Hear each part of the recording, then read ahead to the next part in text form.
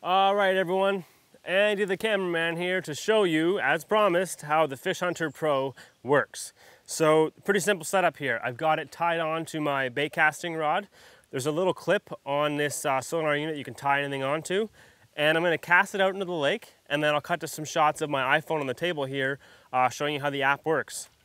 So, here we go. I'm gonna cast it out probably 20 feet or so. Okay.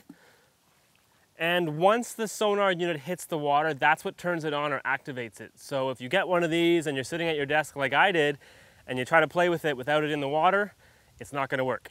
So let's get to some shots of the app working on the iPhone.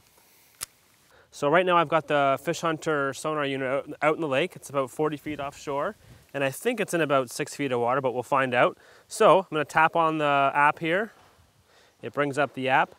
Now at the bottom of the screen here, where my fingertip is, you want to tap this little icon here. So I'm going to tap on that. Whoops. And then a menu comes up across the bottom. The middle one says sonar. And you'll notice that little ping noise, which means my fish hunter um, is connected to my phone via Bluetooth. So then I'll touch on there, and then it brings up my uh, sonar menu. Now, before, when you open this up, you'll notice nothing's actually happening. What we gotta do now is hit this on and off button on top.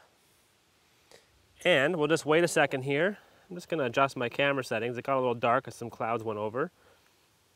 And there. And now you'll see at the bottom of the screen there, uh, the sonar is starting to um, you know, read out on my iPhone screen here.